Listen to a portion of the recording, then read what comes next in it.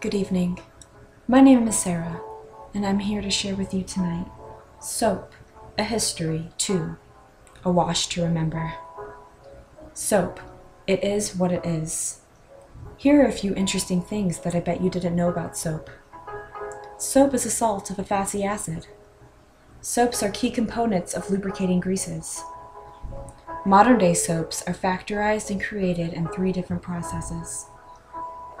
The first process is the cold process, where the chemical reaction of the soap making takes place substantially at room temperature. The second process is the hot process, where the reaction takes place at near boiling point. The last process is the fully boiled process, where the reactants are boiled at least once and the glycerol is removed. Here's an excerpt about the greatness that is soap from the Holy Bible. You may have heard about it. It's almost as popular as Twilight. Soap is impatient. Soap is kind. It does not envy, it does not boast. It is not proud.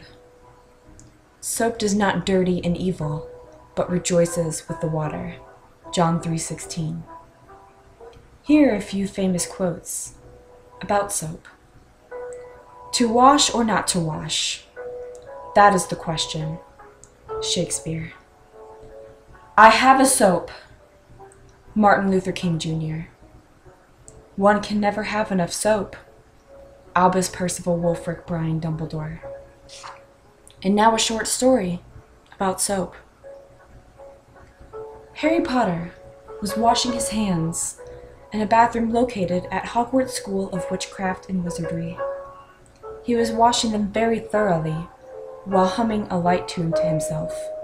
Then all of a sudden, Moaning Myrtle bursted out of the water pipe. The end. Remember to always wash your hands after you do the following actions 1. After you urinate. 2. After you have a bowel movement.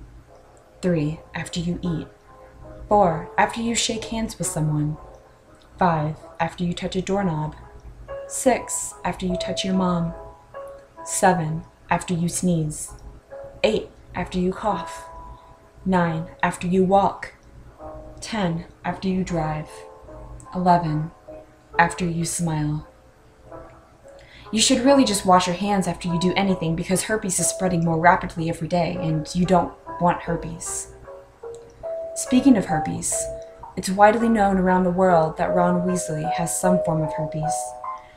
This is from not washing his hands because all gingers think they are, they are invincible when in reality they are just freckly. Now, if you'll excuse me, I'm going to go wash my hands with some of this soap. I hope you've enjoyed Soap, a History 2. A wash to remember. Thank you for sharing with me tonight.